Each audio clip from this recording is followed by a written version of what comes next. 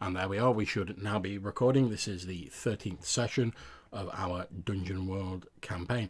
Perhaps the penultimate session, we shall find out. Last session, our heroes tra uh, travelled through the flooded underroad to the lair of the Underkin, a sort of psionically empowered race of outcast dwarves who they discovered were the driving force behind the efforts to prop the deceased Galen up as this figurehead of faith. Their aim being to channel that faith using the statues, which thankfully our heroes have mostly destroyed, into this ritual to transform them into gods. As they progressed through this ruined temple of the Underkin, they discovered that in actuality, all of these dwarves were all part of this large sort of disembodied brain known as the Thinker. Sanya, perhaps unwisely, attempted to like project his consciousness into the brain to find out more about it and converse with it more fully which unfortunately for him coincided with like Glog deciding to attack the brain and destroy it as a clear and present threat. The brain, obviously perceiving this threat, the thinker then decided, oh well, since there's a connection between me and Sanya, I'll jump ship into his body and I'll hightail it away. So as Sanya's psyche is retreating into a sort of psychic trauma, effectively, because unfortunately we've not got Lloyd with us tonight, and he, he's effectively mentally comatose inside this large brain his body still empowered with the tattoos that give him his power, but now controlled by the psyche of the thinker, has rallied Sanya's dragon mount and has flown off in an easterly direction. Milo, believing that he was heading towards the Black Forest, has shapeshifted and flown after him, attempting to give chase. Meanwhile, down on the ground, we have Corinth, Glog, and Durkir in the ruins of this temple when from the flooded underroad, perhaps coming from the Snowmane fortress, this tide of dangling, rotting flesh, pustulant undead dwarves has begun to surge forth out of the flooded underroad. Perhaps the zombified remnants of the Snowmane defenders of their mountain fortress, who were all killed by something horrible, dark, and evil inside their fortress. So, I'm going to ask each of the players to introduce themselves, say a bit about their characters, and maybe what their characters are thinking at this precise moment in time. So, I'm going to start with Jason. Introduce yourself and say about your character. Hello, so my name is Jason. I'm playing Durkir Hammerfall, who's gone through a bit of an identity crisis in terms of his clan. At the moment, um, he seems to well, he seems to feel like he's the most sane character in the room at the moment because everyone around him appears to be acting very strange. One of them is hacking this brain to bits. This um, supposedly Sanya inside this brain, but Durkir knows that's not really the case. He knows that um, that there's something else afoot. He just doesn't know quite what it is. Uh, he's been sort of intending to help Sanya um, up to this point, but by the sounds of it, they've now become separated from this brain um, or something to that degree. He knows that something is moving away um, on this uh, on this dragon. Um, so he's quite kind of confused at the moment and startled. Obviously, he wants to get rid of this brain, but at the same time, he knows it's very fragile. Okay, thank you very much. We'll now move on to Rob. If you can introduce yourself and say a bit about your character, please. Sure. I'm playing Glarg. He's a barbarian from the frozen nation of Snowcrest. So his he wants to uh, do battles that uh, against big, dangerous enemies, enemies that threaten places, um, because this allows him to gain sort of prestige within his tribe when he goes back. Uh, to what he's thinking now, he's kind of accomplished what he wanted to set out to accomplish when he came to this area but he's caught up now in this plot that he doesn't fully understand. He knows that there's a really, really bad, bad thing that could happen. And so he's more caught up in getting that done than thinking about the hows or whys of it. And he's probably thinking a little bit about how he can spin this when he gets back to his tribe to be the biggest thing of all. Thank you very much. And now we come on to Matthew. Matthew, if you can introduce yourself and say a bit about your character, please. Howdy ho, I am playing uh, Corinth Fenry, the half elven ranger. who is still quite a new addition to this group, and they've told him a lot of tall tales about statues and necromancers, and the land is sick,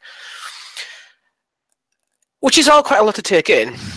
Corinth is mainly interested in bringing the people who have destroyed his village to justice and showing that they don't go unpunished for what they've done.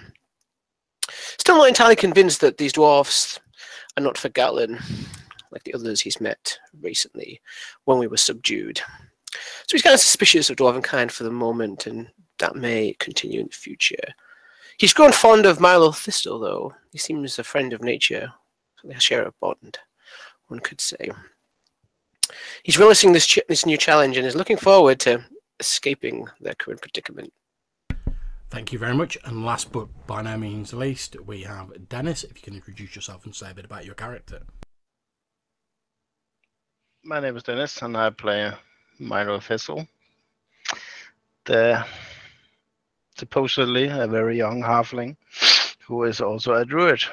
Um, he was asked to leave the Great Forest, the Black Forest, because he was too curious. And now he's starting to doubt that, uh, or to think that his curiosity might not have led him into the best places, because this adventuring life might not be for him. Okay, and we pick up directly where we left off with Milo Thistle. Milo, describe the animal form you're in. Describe how it currently appears. It is. Uh, it's not a gust of wind. but it's a it's an air elemental uh, going very fast, um, trying to catch up with the the thinker and um, the little dragon that I forgot the name of, Tooth something. Mm-hmm. Um, so it's basically just uh, a slightly different, most maybe more solid gust of wind than all the rest of the gust of wind around. Okay, so as you're soaring through the air, you can see the thinker inside Sanya's body sat on the back of this this wormling, this white wormling that you know Sanya had established this sort of mental connection with and he'd been using as a mount. You can see that he's heading away to the east and as you sort of with your senses now attuned to the air, as you sort of look far into the east in the direction where the the Black Forest lies, you can just see a, a sort of haze of dark smoke starting to, to to rise up into the air far in the distance. You hear a cry from the thinker as he kicks his heels into this draconic mount, urging it to fly ever faster to the east. What do you do?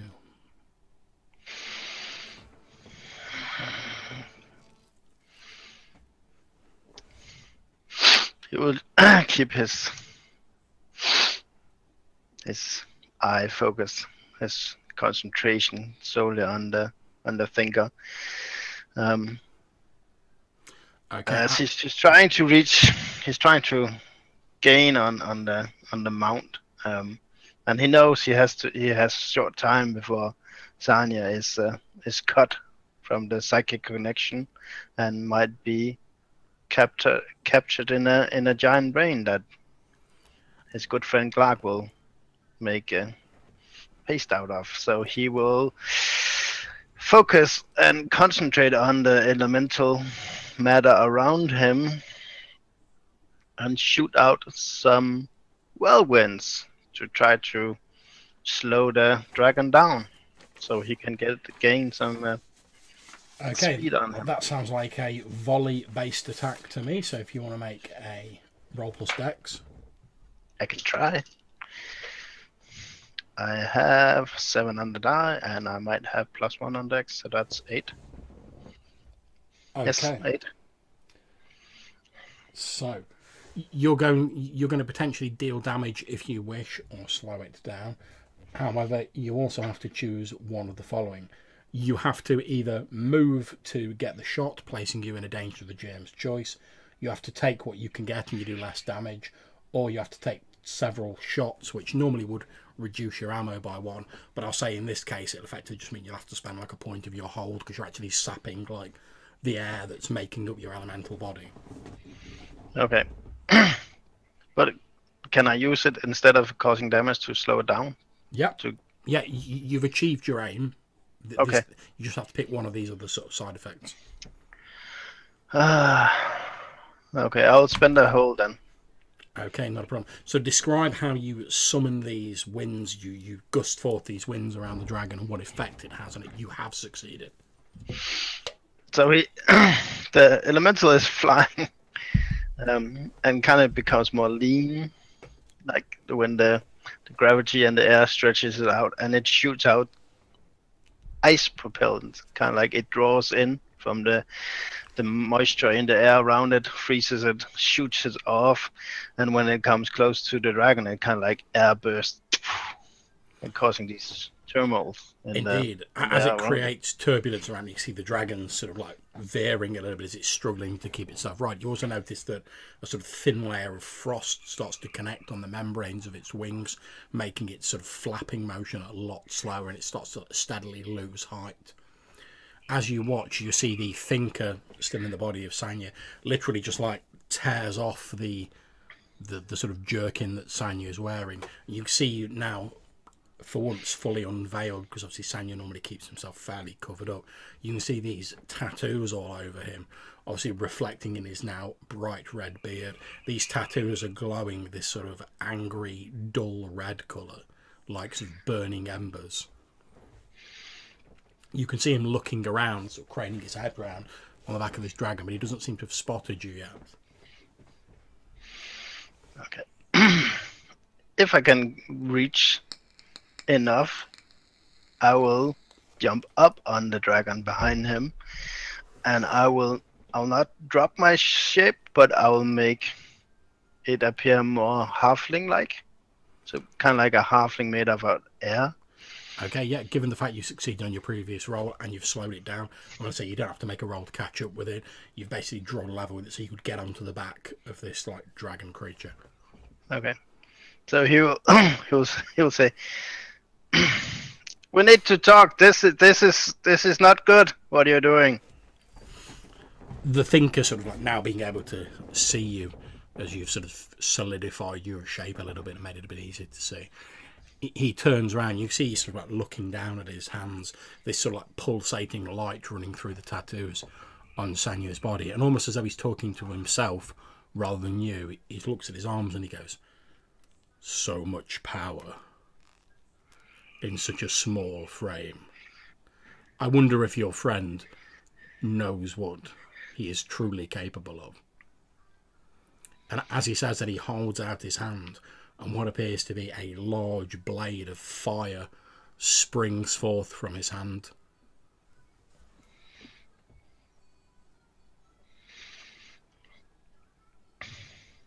What do you do?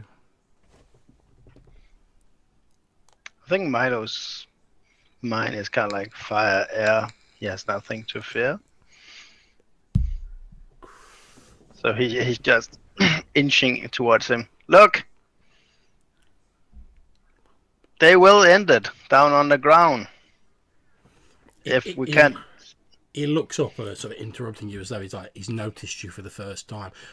There's, there's a an unaccustomed expression of like cruelty and sort of derision on Sanya's once all too familiar face, as though almost as though you're like you're beneath his notice. It's not an expression you're used to seeing Sanya. You've seen him infuriated, annoyed, maybe even scared and angry a few times, but you've never seen such a cruel expression set on his face.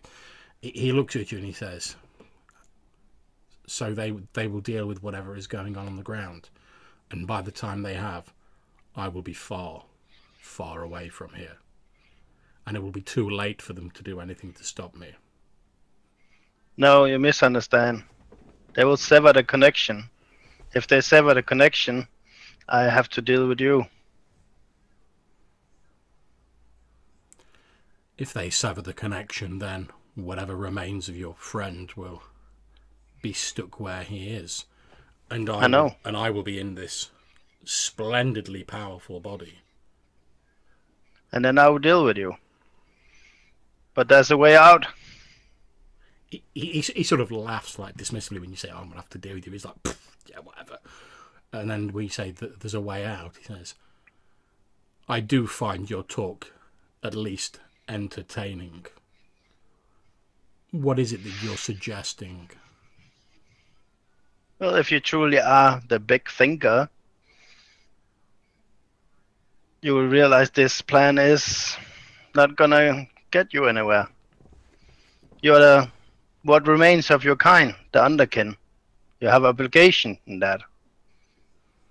At which point he, he just throws his head back and laughs and says, "I see you do. You still do not understand. There are no underkin. There is only the thinker." And at that point, we're going to cut back to everyone on the ground. Okay, so guys on the ground, these the underroad has almost sort of disgorged this huge horde of these dwarves. They're shambling forward slowly, sort of like sloshing through this swamp water that's about up to up to the knees of a normal person, so obviously up to their waist. You can see that like most of them have horrible sort of claw marks and like mortal wounds over them. Their eyes are vacant, their mouths hang open. They're, they're not even like wielding weapons and the armor they've got on is like torn to shreds. But they appear to be like shambling slowly forward towards you. Some of them emit a low groan as they move. Um, the room we're in and like a hallway. Can you can you give me a little description there? Basically, I want to look for kind of like a choke point, a bottleneck where I can. yeah it's you're effectively in a large circular chamber which has this brain pool at the centre right there's only one sort of like double width archway that leads into this chamber and they're sort of like shambling towards this archway All right, so I'm gonna uh, position myself so they gotta kind of you know come through the archway one at a time, and I got my big ass sword ready. Okay, no problems. So you moved into the doorway to sort of block them from getting any hmm. further into the chamber. Yeah, if if there's anything I can drag, any piece of anything I could use to partially block, like so they can't kind of come in and try and duck to the side, I'll drag that over too. You know what I mean? Yeah, not a problem. There's a few bits of sort of like smashed masonry and furniture in here, and being the, the big Perfect. bu- burly sort of guy you are, I'm not going to ask you to make a roll or anything like that. Plunk. You, you just grab like a, a huge like block of stone and just like heave it in the way. All right, so I got a little short, tiny hallway they got to come through now. Excellent. Indeed. Okay, what's Corinth doing at this point in time? You see Glog's hauled this big stone block in the way, and he's sort stood behind it with his sword, ready to like deliver his own particular brand of justice to this advancing undead horde. Uh, as far as we know, we're in a sealed room with a giant brain. That's correct. You can still see the brain behind you, although it's it's looking It a bit- largely, largely destroyed. yeah, it, it's looking it's looking a bit sort of crispy, and like several hunks of it have been like hacked off by Glog. Um, well, first thing Corinth will do, he'll, he'll speak quickly to his bird, his owl, um, Sigmund. Sigmund And- Sigmund hoots at you. Hello, hello, little Matthew. And instruct him to search out his companions and to report back where they are to try and get an idea where everyone is. As we're sort of trapped in this room, and hopefully he can get out there and find them. So, so who is it you actually want them to be looking for? Um, Milo, because he, he, he believes he's not entirely sure, but he believes that Milo shares a bond with nature due to his stone talking and his and his the way that he acts. He might be able to understand Sigmund's intention. Okay, that's absolutely fine. I'm going to ask you if you can make me a defy danger roll for your for your bird. Oh no! You can use your own dex modifiers, two d six plus your dex modifier. So obviously it's got to Oh, fly over all these like zombies. That's great. So Yeah, that's eight plus three, uh, eleven. Okay, so this owl takes off of your shoulder, sort of swoops down low over Glog, heads out into the corridor. As it goes across over the top of a few of these zombies, they're like, sort of like reaching up to try and like, claw at it. And in that instance, I'll. I'll start um, getting my bow ready. Yeah, not a problem. I'm assuming you're doing the old, um, you know, like stick some arrows in the ground. Yeah. So you just like, not a problem. You start doing that. You're sort of next to Glog. What about I'll have a, wet- I'll have a whetstone. So um, Dirk has sort of been looking at this horde for some time, and he's been feeling um, a bit of despair coming to him. He looks back at the brain, and um, his main um, want now is to try, if possible, to save um, Sanya from that thing, he suddenly remembers something that he learned a while ago or had heard of, um, and starts sort of um, patting his pockets down and starts looking to the others, thinking, "Gem, I need a gem. Has anyone got a gem?" I believe I do have like some low value gems. I don't I care got what value they are. It needs to be a gem. So So be a gem. in that case, I'm just gonna take my the purse off my belt. I'm I'm just barely even looking. I'm just gonna chuck it in his direction. Yeah, Okay. so, so Glog sort of throws over his shoulder a a leather pouch with like a few sort of like I said, sort of fairly sort of low value gems. I think they're like 10, 10 gold piece gems. Okay. Um, I just take out the first gem, toss the others to the floor, um, and then I, I look at the brain and I start uh, mumbling this prayer, um, very sort of slowly, and I'm going to be casting Trap Soul. Nice. So, would you like to describe what effect that spell? Yeah. has? So what it does is it essentially traps a dying creature, the soul of a dying creature, within a gem. So I'm attempting to extract Sanya out and into this gem, so that way we can just kill the brain and get him a new body if needs be or whatever. I, I love it. Do you have to make a, a roll for that at all? Yeah, unfortunately I do because it's a spell. So are you saying you want him for his brain? Well, I'm out of the brain because that's not his body. All right, uh, let's have a go then. Double ones, here I come. Oh, and, and no, no, no, I'm, I'm literally not lying to you. Look, Did you really? Double, Double one. one. Oh, dang. You jeez. Great plans. Okay, Mm-hmm. so what does it say if you get a, a six or below, or is it just GM Uh, it it doesn't say what happens if, if I fail. I'm assuming it just doesn't work. You ever see that scene in Scanners where the head explodes? No, um, no, it doesn't say anything about if it fails. Okay, so I'm going to say you start casting this spell, but as you're doing so, you think that Sanya's psyche must have like sort of retreated into like a sort of deeper part of the brain, obviously due to the damage that's been inflicted on it, and you're not hmm. actually able to sort of like locate his psyche to like put it in the gem. Hmm. Okay. You also think that's probably the reason why like Sanya's consciousness has stopped stopped talking. It's not a good sign. Inevitably, obviously, he's slipping into some sort of like psychic trauma, perhaps due to the damage that's been done to the brain, perhaps just because of the stress of like being ripped out of his own body.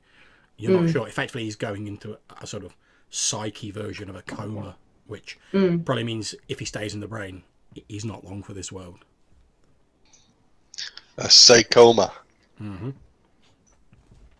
Okay.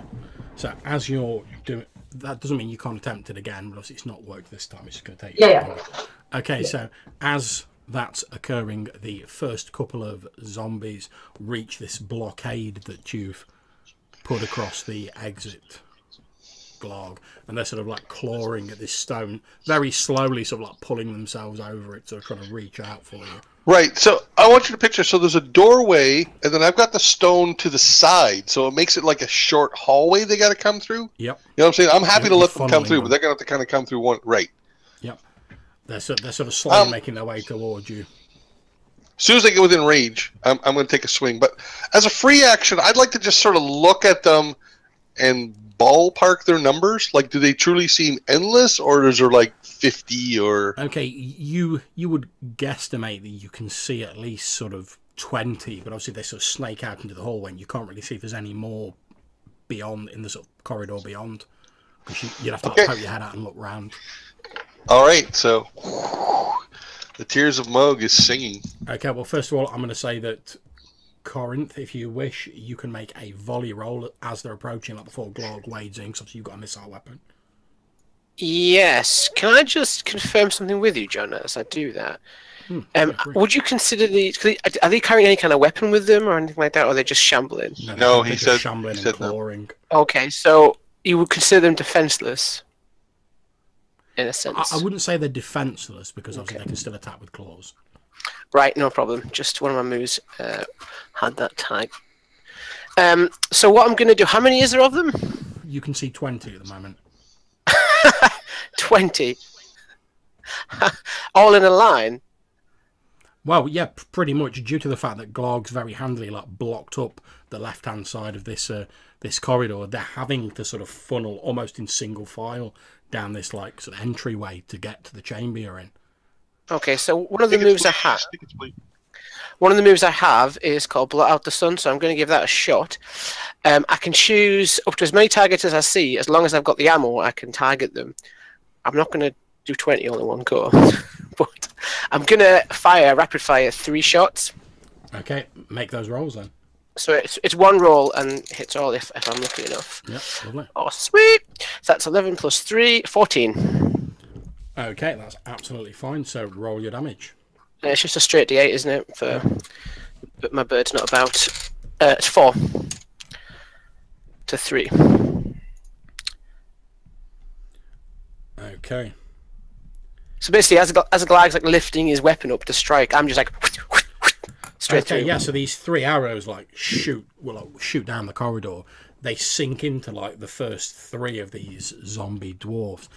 Now these are shots that pretty much from your combat experience, Glog, you'd know that if they'd have hit a mortal man, they'd have like felled them in one. You can see they've like hit the heart and like vital areas. One's got an arrow sticking out of its forehead.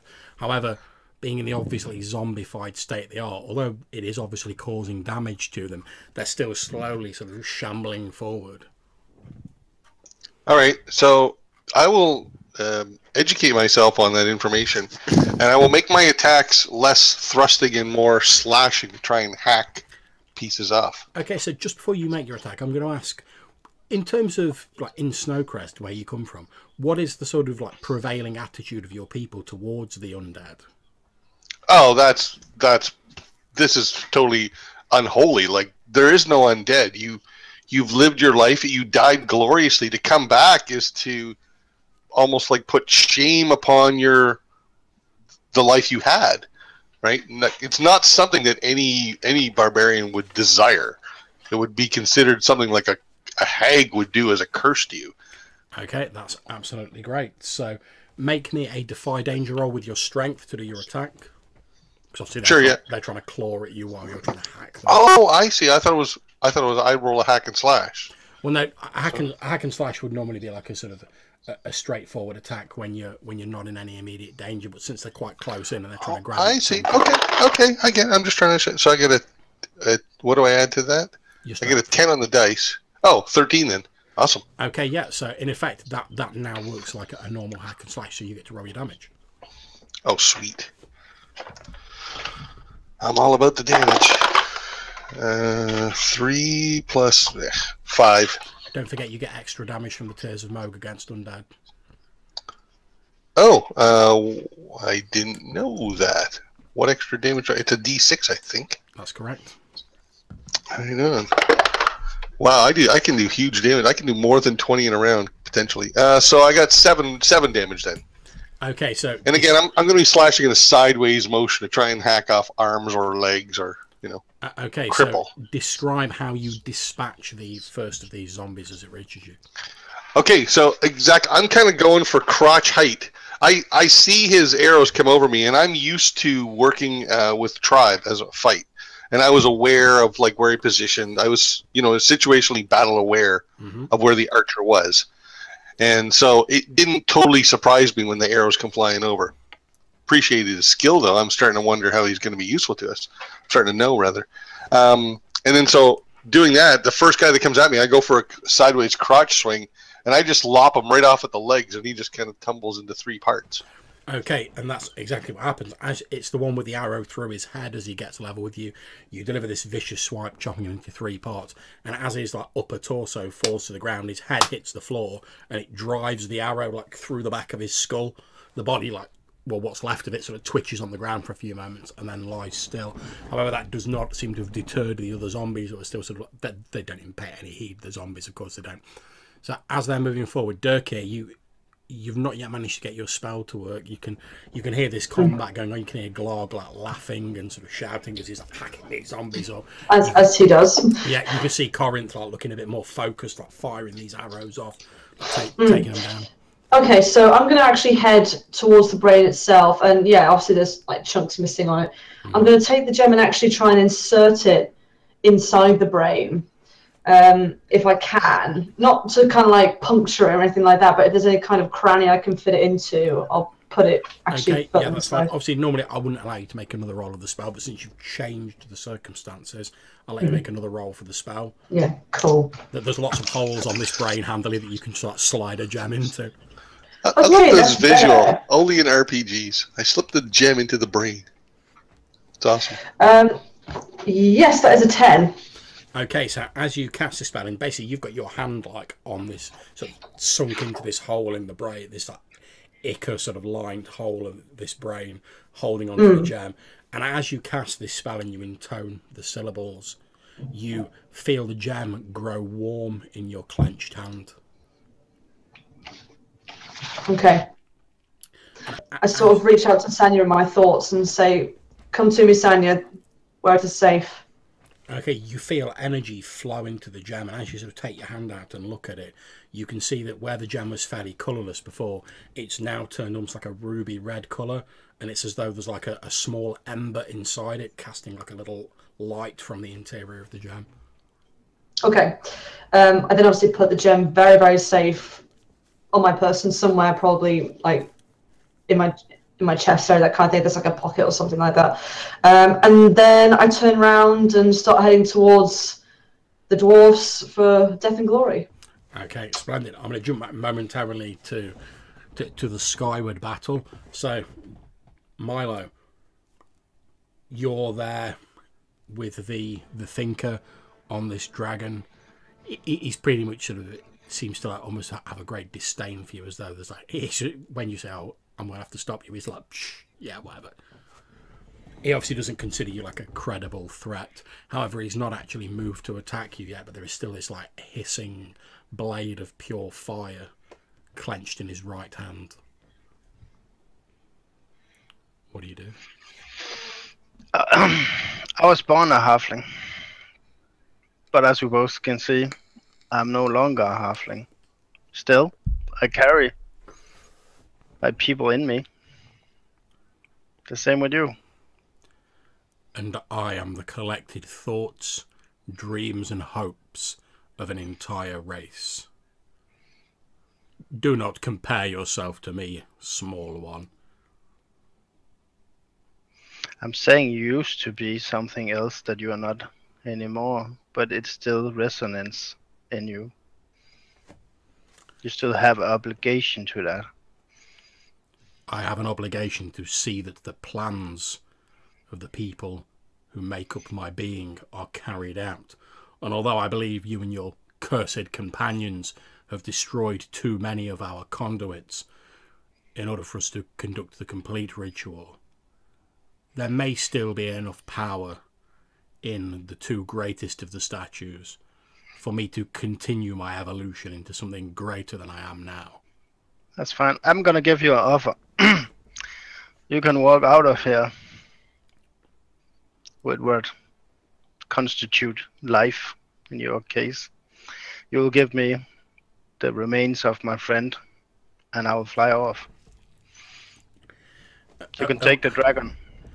At at which point he smiles and he, sa- he said, Or You see, he like strokes his chin, this this long, like fiery red beard. I should let you know, John, that he's lying because oh yeah. He, he, he look. In fact, I tell you, what, ma- maybe a charisma roll to see just see how convincing you are with this blatant like bullshit you're trying to sell him. well, he's lying in the sense that he's gonna let him fly off. He Oh, yeah, hopes yeah. you he hopes you'll fly into the dragon, then he will kill the dragon. But that's a lie. Uh, charisma. that's a partial lie. I roll a six.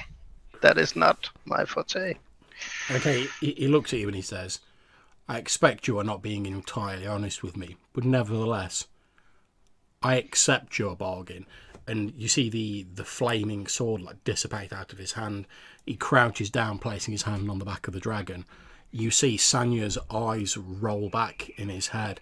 Then the body just like topples sideways and falls off the dragon and starts like spinning over and over as it plummets towards the ground. What have you done? Okay. As that happens, the dragon just like carries on like flying away. Okay, I'll use a bond, a hold, as we call it, Mhm. to summon an air elemental to catch his good friend Sanya. Okay, that's absolutely fine. So as Sanya's sort of plummeting towards the ground, tumbling end over end, you can see from the way he's falling, the, there's there's no sort of consciousness in the body. The, the limbs are just sort of flail out, and he's spinning end over end.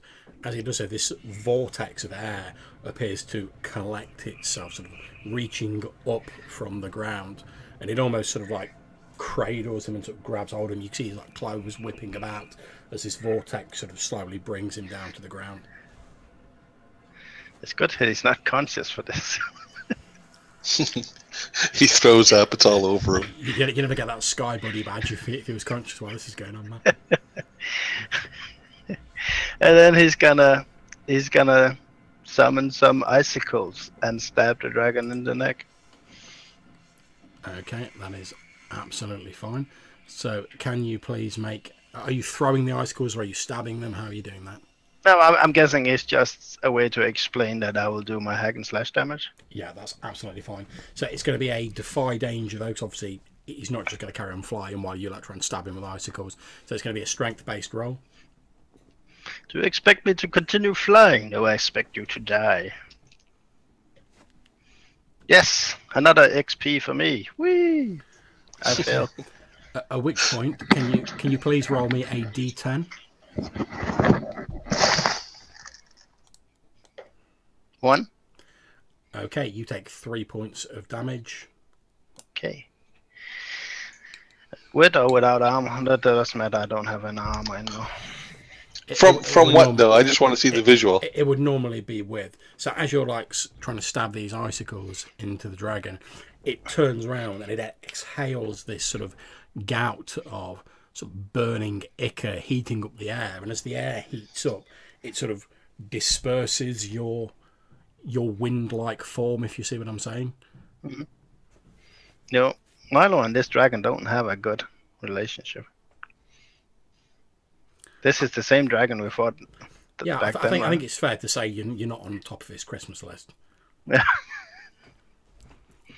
Okay, it sort of tu- it basically it doesn't stop flapping. It just like turns its head around, and then like renews the beating of its wings, obviously trying to put some distance between you and itself. Mm-hmm. Okay, plan B.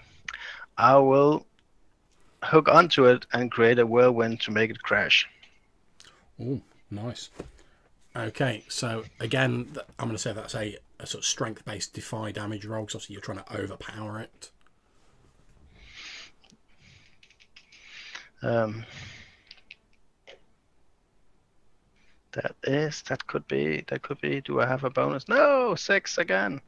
Okay, mark yourself another XP and roll me a d10. No, this is not the time to be failing all those rules. Yeah. Also, XP is not really much use at the end of the campaign.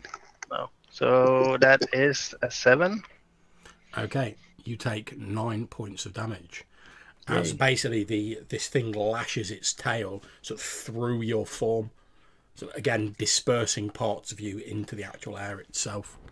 You, you, you don't really feel in your current form. You don't really feel the pain of the wounds, as in like, oh shit, I've just been stabbed. You more so feel as though you're just sort of like getting lesser, and it's becoming harder and harder for you to keep control over your your sort of air elemental form. Yeah. Okay. I will uh, straight form. Hope to land on the dragon as I do. Okay, make me a dex roll. Yeah, yeah, another XP. Okay, so you you you shred your form, of, I gained level. yeah, ignoring some of the damage. You you turn back at your harvest form, and you're just about to land on this thing when its tail flips up and like catches you in your midriff. Doesn't cause you any damage, but obviously it flings you away from it, and you find yourself sort of sailing through the air. Ah, so we're back at that. As you start for plummeting down, you can just see sort of like Sanya's unconscious body like lying far below you on the ground. Uh, well, A- Aim for that elemental that saved him. you know, the best of the best of plans they will fail when the dice come. Yeah. Okay, Great so- plans, shitty rolling. I- I'm going to jump back to the zombie mash for a few moments. Okay, So these these zombies are continuing to sort of stumble forward. Durkir's moved up behind Corinth and Glog. That they're still shambling forward. Corinth, what are you doing? Unmuting yourself first, hopefully. Yep, I was just thinking that I'm not muting now. Um, so he reaches for his his arrow, his quiver, and draws what he realizes to be his three remaining arrows. As it dawns on him that when he was caught in the wilderness outside his home, he he hadn't he hadn't much provision. And he has not a chance to restock, so he has to make these arrows count. Seeing that the these dwarves do not appear to die like not the decency to die like a proper person does, what he's going to attempt to do is he's going to shoot individually this time, but what he's going to try and do is set up to help Galag dispatch them. So instead of his aim's not to take them down, it's to pin them to the wall or hobble them in a way Nice. to enable him to. Uh, Okay, before you make the roll for that, can you also make me a a wisdom roll? Uh, whiz roll, sure, man. Um, so that's a ten, dead on. Okay, so obviously as you're looking through and you're you're, you're very carefully observing these shambling zombies, you know, trying to work out their movements so you can pick your shot, etc., make every arrow count. As you're sort of peering in, you notice what appears to be sort of stood right at the back of this this current crop of zombies that are surging forward. There appears to be you can't really make out any details, but there appears to be like a sort of a shadowy figure stood behind them. And the reason you notice this is because the movements of this figure aren't the sort of shambling, jerky, uncoordinated movements of the zombie dwarves. They're very purposeful, almost lithe and graceful. Okay. Um, so what he's going to do then, and that when that becomes apparent, he's going to fire one of his remaining arrows at this creature to see if, if attacking, if disturbing this creature affects the movement of the rest of them. If there's someone in control, possibly, like, like a pack master, like like a wolf pack. Okay, make me a volley roll. Okay. Um, so that is unfortunately only a nine. Okay, that's fine. So you have done your damage, so roll that. Awesome. Uh, that's a single point of damage.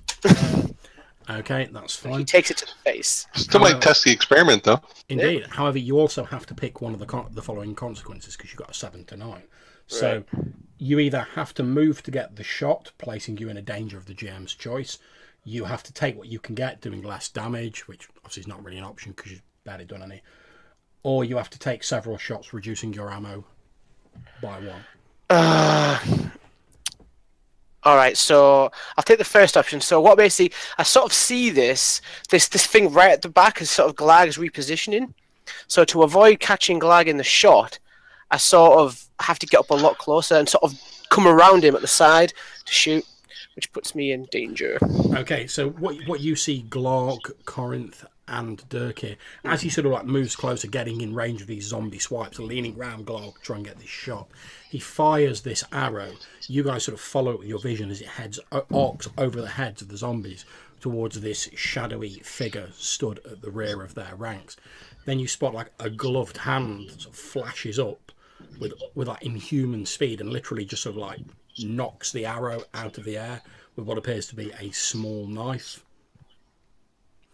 And you hear a, a very familiar sort of but slightly echoing voice sort of comes from the back of this crowd and he says Durkir Glog. I remember when you used to have worthier companions and you recognise the voice of Rufus, the White Raven. Uh, What the hell is that? Rufus? So Yes, Yeah. It's, it's me. Well, your companion's not exactly worthy either. I look up at Glag. Friend why are you foe? attacking us? We don't want you. We want what's in that chamber. What? That brain? Do with it what you want. Indeed, my master has bid me collect it for him. or oh, what's left of it. Your master?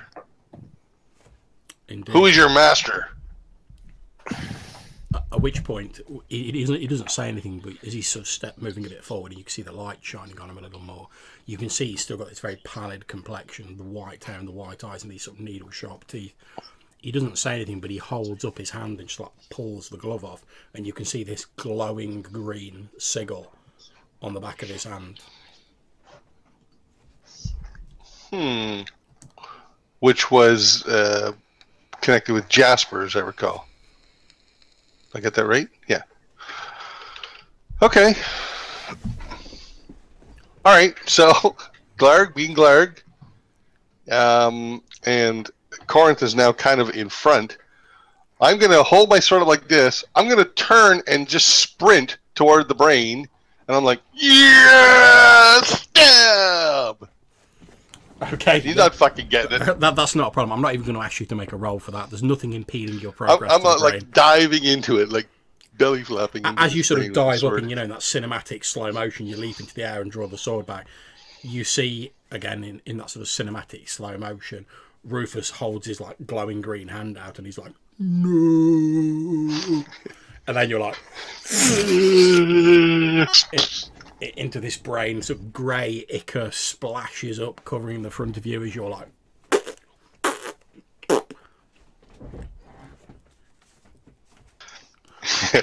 Turning back, see how you like that? you hear Rufus's voice, a sort of cold, cruel tone creeping into it, as though like, all the emotions drained out of his voice. He says, You shouldn't have done that, Glog. I would have kept my word and let you all leave here alive. Kill them all. All right, all right. And as he says No, that, these won't. zombies sort of like re- renew their shambling towards you. All right, yeah, I, I brandish my warhammer and charge forward. From Nice. Make yourself a defy danger strength roll as you shout for Moog and like leap over the over the stone and like bring the hammer down. That's an eleven. Okay, roll your damage. Okay. Three. Okay, you see that the next zombie is another one of these where Corinth's already like put an arrow like through its chest. Describe how you finish it off with your mighty hammer swipe. Okay, so basically I've got my hammer up like this and charging forward, and as if I'm like batting it out of the park, I just whack it one on the head, and it it knocks off its neck completely. Lovely, and that's what happens. Its head sort of smashes into the the wall next to it. Its body continues for like half a step and then just falls at your feet. Okay, Corinth. Now you've had to get a little bit closer to to take your shot, so I'm going to ask you to make me a defy danger roll based on Dex, as one of these zombies is going to try and grab you and like pull you into the mass. No problem. dwarves. So that's uh, 8 plus 3, so that's 11, John. Thank God. Okay, no problem. This this zombie actually manages to like grab hold of like the, sort of the hem of your cloak, effectively, and it's trying to pull you. But you brace yourself against this stone barricade that Glarg has put up, and although it's got its like claws into your cloak, it can't pull you over it. You're sort of braced against it.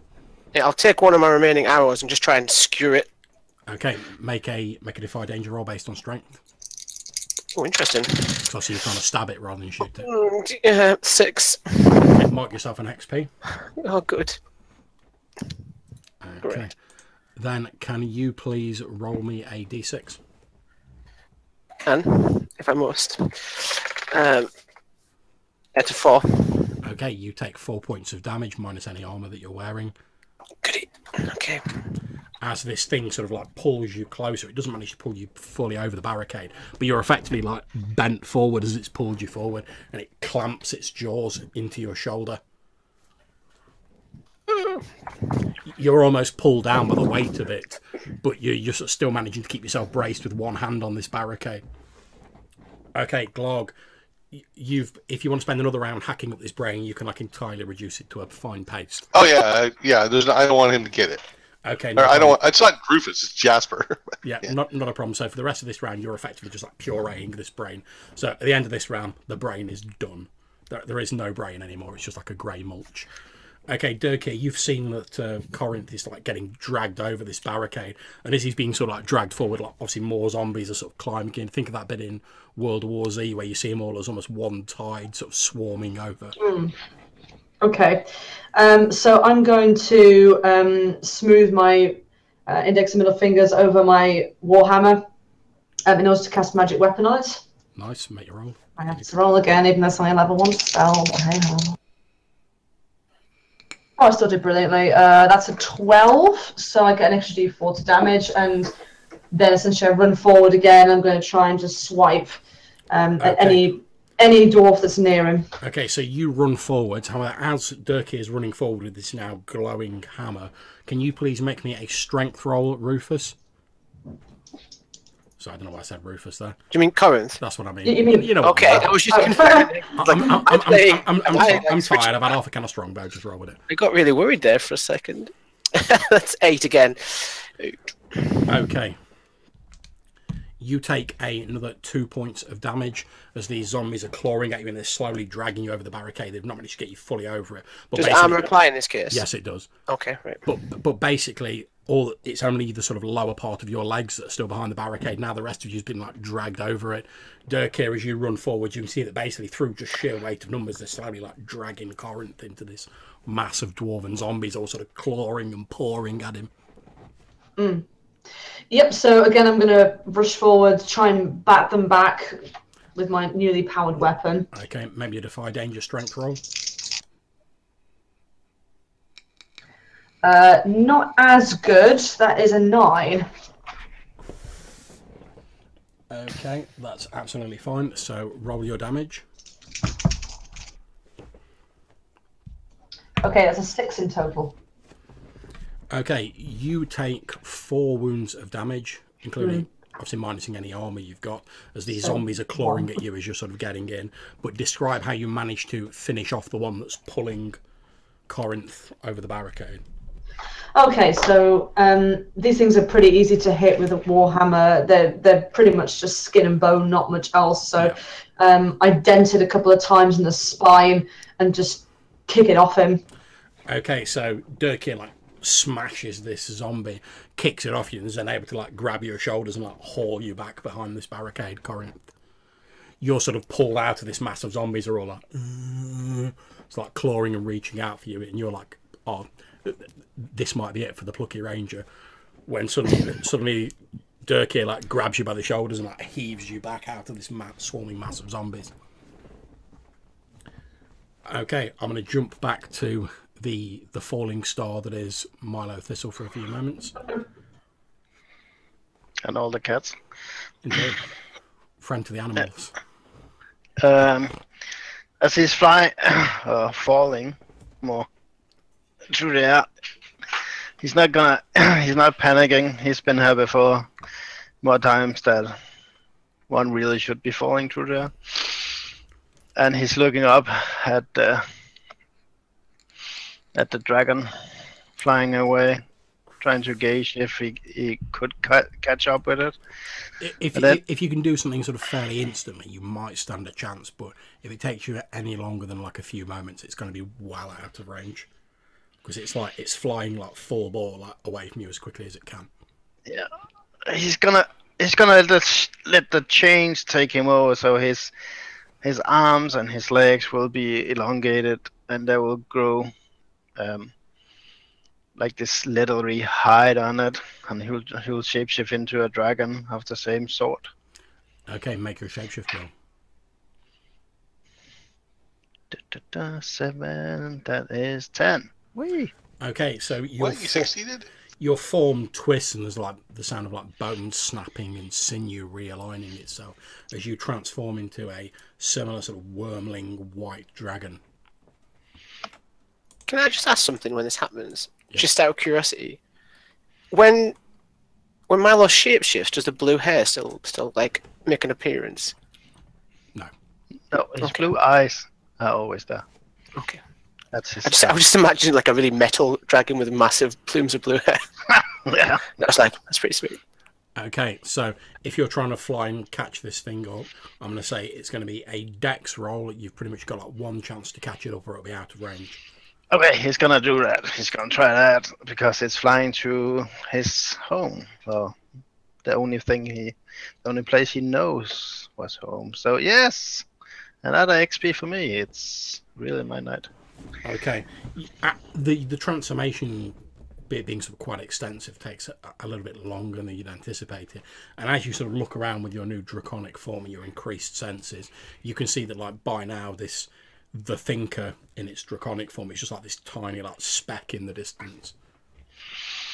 Yeah, he's gonna realize that he can't catch up with him, at least not within reasonable time. And Sanya is still down there, so he will swoop around and uh, dive down and pick up Sanya and go back to the rest of the party. Okay, you swoop down, you can see Sanya's like lying on his back unconscious, his eyes are open, but they're just like staring sightlessly up into the sky.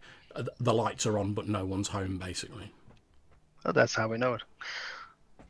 So he'll just fl- fly down, grab him with a claw, Yep. beat the mighty wings, and take off again. Okay, not a problem. You scoop up Sanya in your draconic claws and you begin flying back towards the ruined Underkin Temple. Speaking of which, the rest of you guys in the Underkin Temple, these zombies are still continuing to swarm forward. Glog, you finished off the brain. It's now just a fine paste. Okay, so I'm gonna first thing I want to do is I want to rush back into uh, protective position. I want to try and be closer to the zombies than my two companions, so they got to go through me. Now, Glarg isn't uh, smart about a lot of things, but he does understand combat, and so he knows that he can save a lot of energy by not having to do do feints or watch for feints from them. And they're also on top of that they're slow, so he would see them as very predictable in combat. Mm-hmm. So simple foes, where the real danger is their numbers. So what I'd like to do, I don't know if this is allowed by rules, is instead of because I do tons of damage, is instead of focusing on damage, I just want to try and make a path through them to get to Rufus. Yep, that's not a problem. I'll say we'll do like a, a single hack and slash roll for that, which is obviously strength. If you succeed, you're not so much causing damage, but you've just like smashed your way through the group to, to open a channel Yeah. to to Rufus. Perfect. Uh, so I get eleven. Yep, no problem. Glog comes running back over, like vaults over this stone barricade, and just starts sort of like hacking his way with his sword through the through the crowd. So like you see him like punch one out of the way with his fists, like kicking as well, just like storming his way through this crowd. You can see he's like just through sheer might of like swirling his sword around and like his physical presence, he's opened up a, a small path to Rufus, who's still this sort of shadowy figure stood there. You can see him a little bit more clearly at the moment. Okay. Corinth, you're now back behind the barricade. Obviously, Glog's just vaulted over and is smashing his way, smashing a path through the zombies. What are you doing, Corinth? Um, Corinth will pick himself up slightly hesitantly as he, he, he thought his number was up there for a second, kind of looking at his wound. Turns to Durkir and says, "Do do all your old companions end up trying to kill you?" No. I'm not sure why this has happened to Rufus. Maybe he's been tainted by death. It's only been two out of five. Come on. Yeah, but I'm not saying in details. I think we should we should follow your large friend. Yes. Splitting up is not a good idea with those numbers. Sanya is now safe. We need to get it back to his body. Yeah. So what um, Corinth's going to do, he's going to try and follow Glag at a, at a reasonable pace. He's going to draw his short sword, and rather than trying to necessarily do damage to these creatures, he's going to try and swipe at them to like hobble them, like Achilles' heel or a tendon, just to slow them down as they pursue us. Yeah, that's absolutely fine. Give I'm not going to say you have to make a roll for that. You can do that. Glog's already cleared a path, so you sort of charge through this path. You're not sure how long it's going to stay open for, but you you charge through it behind Glog's, slicing at the the tendons of these zombies as you do. You're rewarded as you see a couple of them fall to the ground. They're still trying to crawl about, but they're obviously much reduced in speed, which, given their speed, wasn't exactly amazing to start with. Okay, so Durkir, you've seen Glog smash this channel to Rufus through the zombies. Corinth's rushed through after him, slicing around with his short sword. What are you doing? Um, how many dwarfs are left now? Well, there were originally 20, you've killed three of them. So there's still just the three I've got. Okay. There's tons. Right. Okay. I'm gonna charge forward again. because there's so many, I'm thinking I should probably try and clear a path, and that way maybe we could nip out past them. It's risky, I know, but just a moment if I can try and separate them out and clear a path. Okay, make me a strength roll. Uh, nine. Okay, so you basically you run down the path that Glog's made, and then you start sort of smashing your own like side path. Obviously, planning to give you guys like an exit out of here. As you're as you're doing so, however, you you sort of turn around to shout back to the others like, "Oh, follow me, we can get out of here." And as you do, your eyes lock with Rufus, who's stood there, and you can see that his eyes, instead of being like the white that he'd had after his last brush with death, they're now a sort of dull red colour, like freshly spilt blood. Can you please make me a charisma roll? Uh, uh, I can try. I just realised what you're doing, John, and it amuses me greatly. Okay, that's a five because my charisma's shite. Okay, mark yourself an XP. Thank you.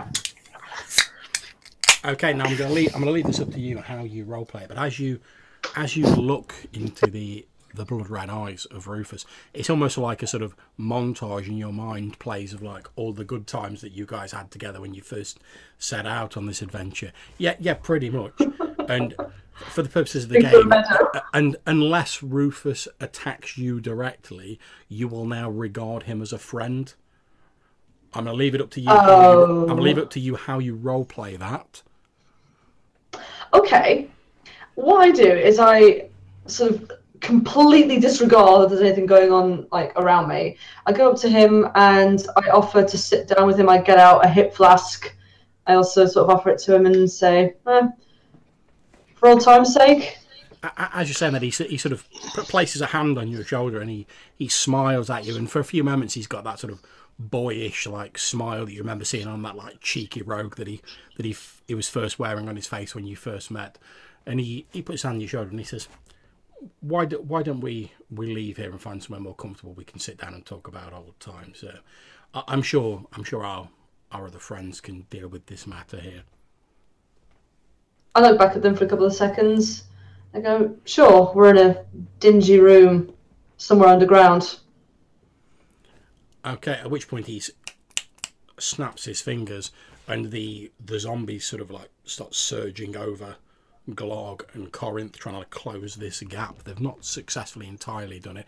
To the rest of you guys, Glog and Corinth, as like Durkir has walked over to to Rufus and he's talking to him, there's an odd sort of like thick, sort of almost like drugged quality to to Durkir's voice as he's talking. The, the the voice is quite slurred and sort of a bit a bit glazed.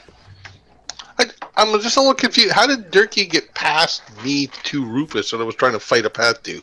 He basically he basically ran down the path that you've made, then started like hacking a side path in the hope of getting to like Okay, the exit. okay, okay. I just want to keep the mental picture. Yeah, Okay. no problems.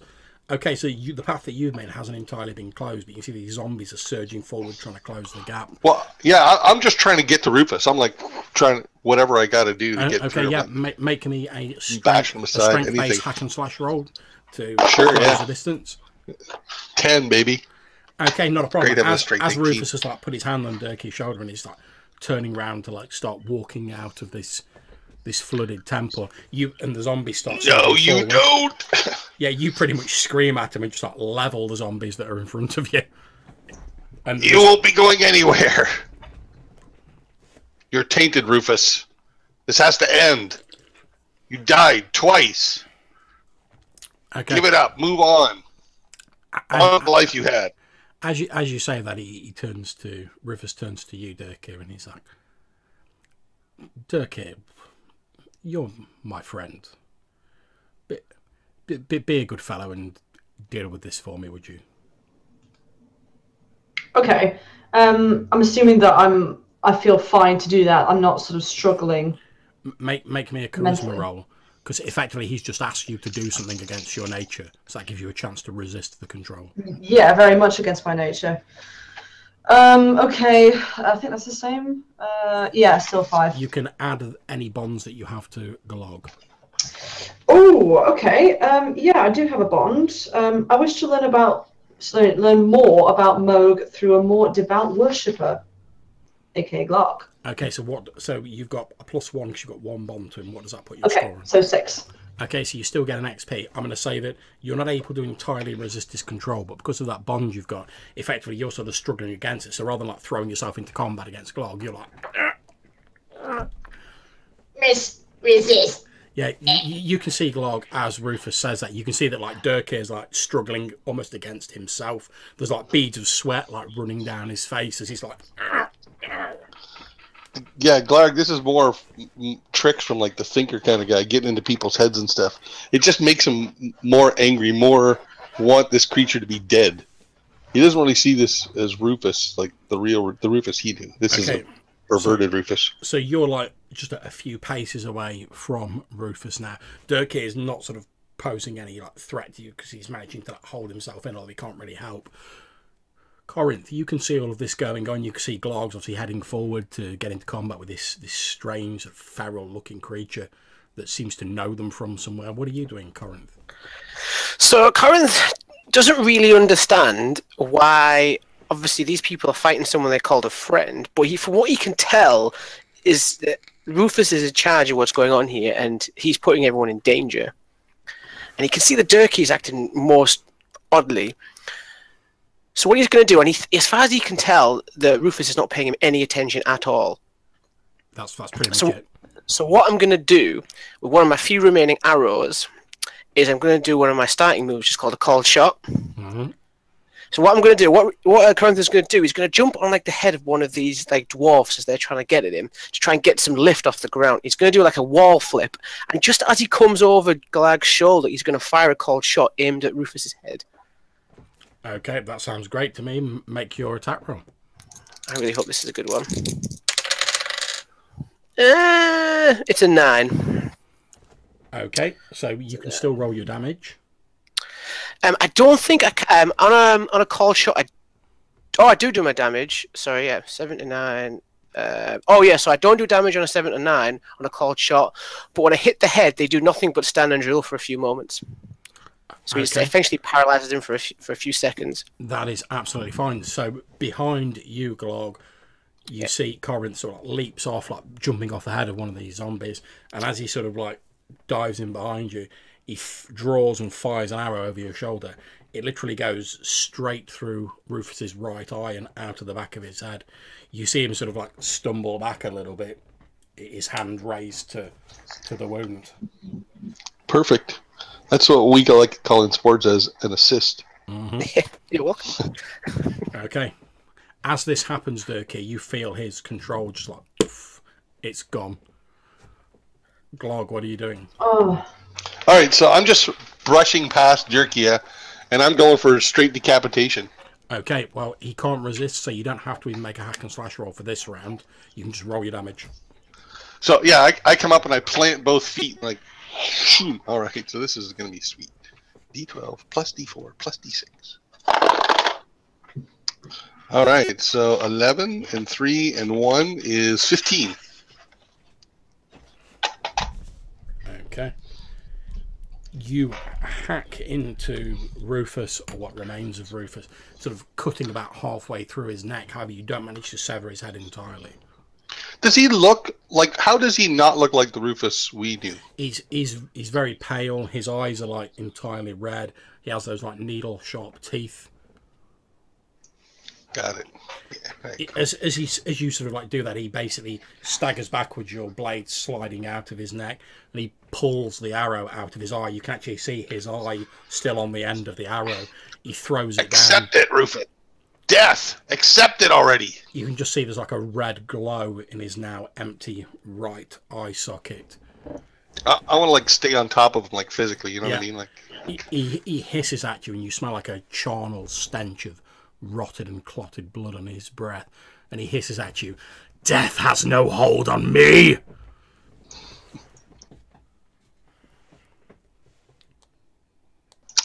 Well, I just swung. I just took my turn. So Okay, Durkir, you can see this going on. Glog's like on top of him, like sword at the ready. Rufus is like missing an eye. He's like half his neck severed. His head's like on at a strange angle.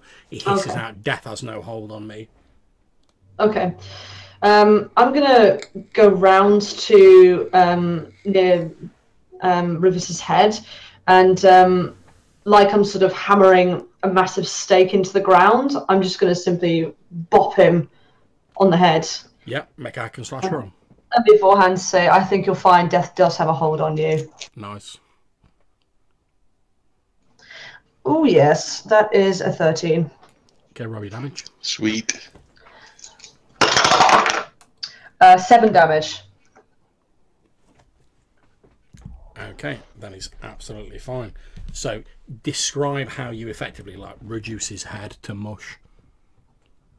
Um, so like I said, sort of, I almost ceremoniously bring the hammer over my head and just, and um, yeah, there is mush. Um, the sound sort of echoes around this room, and he obviously becomes lifeless and completely motionless. Indeed, as his body lies over the glog, like still on top of it, and your hammer sort of like sunk into what remains of the head, it twitches for a few moments and lies still. Then from behind you are a series of like dull thumps as like these dwarven zombies start just like falling to the ground, as though they were like marionettes with their strings cut. Then as you watch, the body starts to like decay really rapidly. The body of Rufus. Um, I would like to search his clothing, and not for valuables, but for something personal that would have identified him as the Rufus we knew.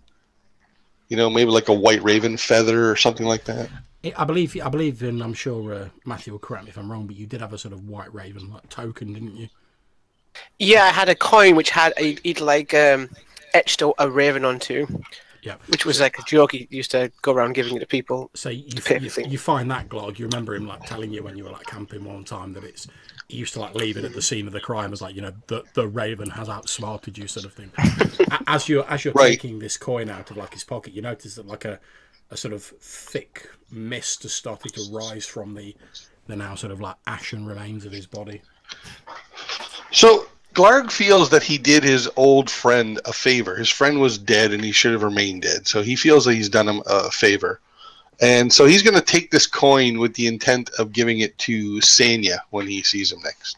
Nice. Okay, so as you guys are stood there, the, the zombies are dealt with. You're in no immediate danger. This thick mist drifts out of the body, and it slowly starts like drifting down the passageway towards the exit.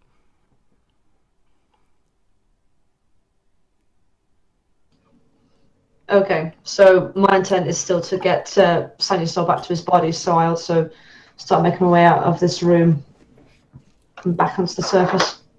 Okay, not a problem. You start making your way back out to the surface. At this point, as you guys are all up making your way out, Milo, this is when you in draconic form you start sort of heading over. The rest of you guys, you hear like a sort of crawling sound in the air, and as you look up, you can see this this sort of small white wyrmling holding the body of Sanya Kelt in its claws, sort of like coming down to land. I, I go rushing over to it. Okay, Milo, you, you touch down. You see Yeah. dogs running over to you. They're all like, covered in blood and bits of brain. And Hey, Any landing that isn't a crash is good. Careful, Glag. That thing may be uncontrollable without Sanya conscious. Beware. I have my sword at the ready. The dragon will land on a on tree of its uh, legs, paws, whatever you call it, and when it's a dragon.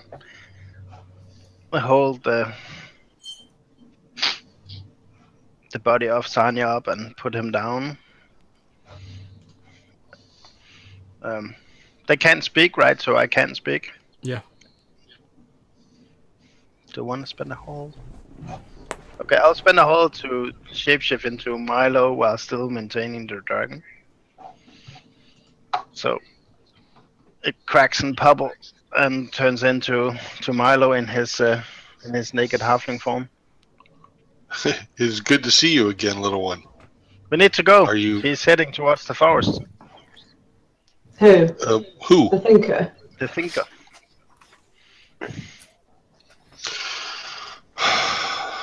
Let us go then.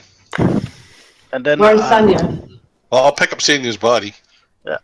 I'll, I'll uh, re- resume the shape of the the white worm, and then uh, kind of kneel down with the shoulder Yeah, and so- uh, I'll, I'll put Sanya's body on first, and then I'll climb on. Wait, Glarg. I have I'm waiting. Sanya's soul. Surely we should put it back Of course. inside his body. You have Bring it here. Yeah, you, you're like, I've got. I, I don't even question it anymore. Yeah, you, you're like, I've got Sanya's soul, Glog, like. While, fair while the dues. rest of you Yeah. were distracted Typical by Tuesday. the dwarfs, How can a dwarf do that? I am not just a dwarf. I am I don't know how anyone can do it, but it doesn't matter. Milo said we have to hurry. By the power of Moog, I have his soul, and it must go back in his body. Yeah. So yeah, I'll I'll help him do it. I'll hold the Mm. body. Okay. Yeah, I, I obviously I've never done this before, so Durkir just thinks, okay, I suppose I just hold the gem out very close to the body and just beckon him to go in. Okay, so you. works. Put it up his butt. Oh, the soul suppository. It's a. Kinky. Okay, so what what happens is as you as you hold this gem out towards Sane, you notice as he's lying there, all his tattoos look like very dull, like like there's no sort of vital force flowing through them. Previously, since your encounter with the strange ink-like beast, his tattoos have been on like perma-glow setting. But as you like hold the the gem out towards him, the nearer you hold the gem, like the, the brighter his tattoos start to glow. But you can still see that like the soul's inside the gem. Um, so I, I, can release the soul from the gem at any time. It just simply says I can't recapture it. So I hold it as close as I can, almost like pressing it on his uh, on the body's chest, and say, Sanya, this is your body. You belong in there. Go back to it. Okay, so you press the gem to like where his heart would be, saying that, and as you do, the gemstone crumbles into powder, and it's as though the light from the gemstone flows into his body. His tattoos flicker, and then they like blaze out in this bright, sort of burning orange light, and he goes, and that's where we're going to end this evening session. Okay. We all board and take off. Indeed. Not a problem. Now, obviously, I know this has been a slightly shorter session, but since we're going into the sort of like the final showdown, I'd obviously like to do that with everyone there. Oh, makes sense. So it's like makes uh, sense. Game of Thrones shortening the seasons and so on. that, that seemed like a good place to stop since effectively Sanya won't have been aware of what occurred this session because he was like in a tiny gem, whereas now obviously he's woken up. So that that seems like a, a good place to stop. But in terms of like boarding the the Milo dragon and flying and everything, yeah, that's pretty much where we'll pick off next time. That's absolutely fine. So I'm just going to say thank you very much for playing the session, guys. Obviously, we'll sort out XP and everything in a moment. But for now, I'm just going to say I hope you all enjoyed the session. Again, thank you very much for playing. I know it was a little bit short, but I'm going to end the recording now.